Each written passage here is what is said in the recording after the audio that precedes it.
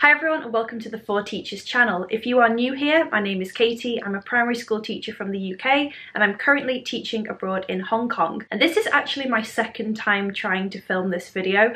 I started filming this a couple of weeks ago and I got about halfway through and I just had to delete what I had created because I didn't feel right somehow. Trying to put all my points together and explain how unusual this current situation is for teachers really hit home for me and it did make me feel quite over overwhelmed. I know that working from home for a teacher is always going to feel completely unusual because unless you are surrounded by your students in the classroom, it's going to feel really unusual and really, really strange. And that is something that I have found really difficult and really quite hard to cope with since all of this started happening. So I just wanted to refilm the introduction in a more personal way and say that I understand if you are feeling lost and confused. It's okay to feel that way. It really truly is. And I've gone through so many different motions with this. And for me, the most important part is staying connected with my students, which is something that I've tried really, really hard to do over the last 10 weeks that I've been teaching remotely. I also want to just say that I'm so proud of all the teachers around the world who are changing their methods and using new technology and trialing different websites and reaching out to their students in so many different ways. I think it's amazing that we're coming together as a community to continue providing some form of education for our students and I hope that by making this video today I can just share some of my tips and tricks and things that I've picked up over the last couple of weeks of remote learning and hopefully inspire you to try out some new apps and websites and little tips for routine uh, and setting up a sense of normal for you and your students while you are not in the classroom with them. So just to give a tiny bit of context to anyone who is new to this channel, I am from the UK and that's where I did my initial teacher training. I also worked in a school in Manchester for three years before I moved to Hong Kong where I have been now for the past four years. And in Hong Kong we have been teaching remotely for longer than in the UK. So as of the date of this video going up, it has probably been around 10 weeks of online learning and remote learning. And of course course, if you're watching this video from a later date, then it might have been even longer that we have been doing that. I do feel as though in some ways I'm quite fortunate because we are a few steps ahead with remote learning. I've had longer to practice this, I've had longer to get used to everything, and hopefully I can use what I have learned to kind of advise and to give you some top tips and suggestions for what I have found worked really well. Please also be aware that the expectations of my own school may be completely different to the school that you are working at, and also my personal expectations may be different to yours as well. Things that I set out for my students to do might not match the ethos of your classroom, and that's okay as well. Take from this video whatever is useful to you as a teacher. So the first thing that we have been doing for our students is we have been starting the day with a morning message. Now this doesn't have to be technical, it can just be a very quick video or typed message to say, hello, welcome to the start of a new day. It's also a really nice time to ask questions or give riddles or quiz questions or shout outs to your students as well, just to give them a reason to check in in the morning and kind of a purpose for starting their day because I know for some students it must feel very very unusual waking up and not having their normal routine and this for me it gives a sense of routine and a sense of kind of normal for the students as if they're starting a new day. I would also like to point out that when you start filming your face for the first time it is going to feel so weird and so strange. I have actually been very fortunate in some ways because I've been making these YouTube videos for quite a long time now so I was a little bit used to the structure of filming myself yourself and listening to my voice and watching myself on a screen was something that I'd kind of overcome the initial awkwardness for. But if you are brand new to this, it is going to feel so strange at first. I feel as though you look back and you're like, I can't believe I sound like that, I can't believe I look like that. And it's such a weird and uncomfortable feeling at the start, but that will start to feel more normal soon. I know that your students are probably watching a lot of videos on YouTube that's kind of the generation that they've been brought up in, so it's probably less weird for them than it is for you, it is highly likely that you will start to feel more confident the more that you film yourself and the more that you make videos. Sometimes you wake up and you just do not feel like filming yourself on a camera.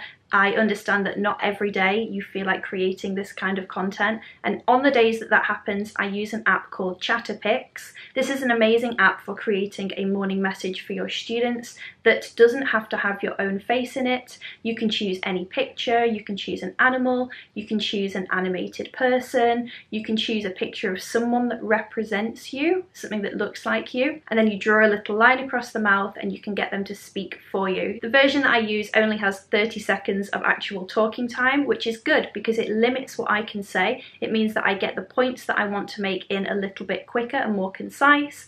And I think my students really like to see a funny animated version of myself introducing the day to them. The second thing that I've been using with my students is Google Slides and Google Classroom in general. I don't think I could fit everything about Google Classroom and Google Slides into this one video, but I will try to make some smaller videos to help introduce you to the basics of setting this with your class.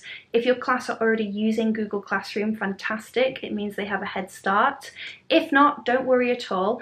But I would say that setting up the slides for my class with their home learning on has been a really, really useful way for me to organise my ideas and for my students to see the structure that has been sent through to them each day. I have created a template for my students using Google Slides that has an English slide, math slide, and then any other topics or different lessons that they do. And what's useful about this is that I can edit the slides, but I can keep the same template. So I might change the background colour each day to represent the start of a new day, but I can just edit the content that's on there rather than creating a brand new set of slides each day. It's also really useful to have a place where you can add in links and websites and different resources for your students to access in one place. This system did take a couple of days or weeks to get set up with my students, but now that they know the system, they know that all of their work is going to be organised on the slides, and that's where they need to go in order to access the information related to the remote learning. I know that some people might use different websites and some people might prefer using something like Microsoft PowerPoint. If that's something that you're more familiar with,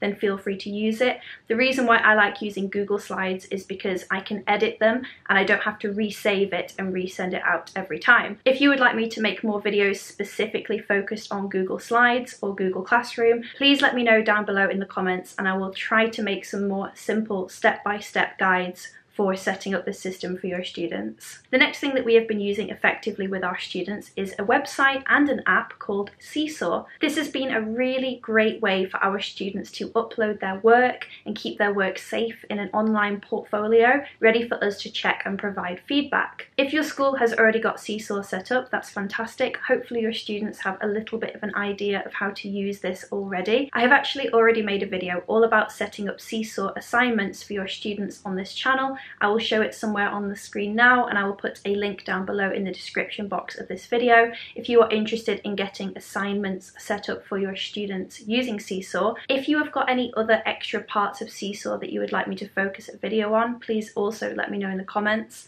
But I just wanted you to know that it is a big part of the way that I collect the work in from my students remotely and how I check up on their progress and what they've been making. And I do think that they really enjoy uploading their work to Seesaw and seeing the feedback coming through from teachers as well. Another really amazing online resource that I have been using with my students is a website called Padlet. If you haven't heard of Padlet before, I truly recommend having a quick look at it now. Even if you don't plan on using it for remote teaching, it's still such a fantastic resource to have as part of your classroom. You can create boards on Padlet where you can create topics of discussion there are so many different formats that you can explore and you can get your students to respond to a question on there. You can get them to share examples of how they have responded to a project. Padlet is a really excellent way to get your students to share their ideas collaboratively and to look at the ideas of others. For me personally, it feels like a really nice way to create kind of a virtual classroom setting because the students can communicate with one another, but as the class teacher, you have the ability to look over the conversation and choose the comments that you want to approve or not approve. So your students have lots of freedom, but also you are still in control of the content that they post on there, which for me personally makes me feel a lot more comfortable as a class teacher, allowing them to have some freedom, but just keeping an eye on the conversation that's happening as well. I'm going to make some very specific videos about Padlet and how to use Padlet, so make sure that you are subscribed to this channel and I will get that content out to you as soon as I possibly can. Another way that I've tried to stay connected to my students is by setting up a YouTube channel. I decided to call it For Students as a bit of a reference to my actual channel. I think my class appreciate the link. The best thing about having the channel is that I'm able to make all of the resources private so that only my own class can see them. I upload the videos and set them as unlisted before sharing the link with my students. It makes me feel more comfortable knowing I can say their names and give shout outs without having their personal data shared for the world to see. I also think my class appreciate how personal this is as it's something special for them to check up on.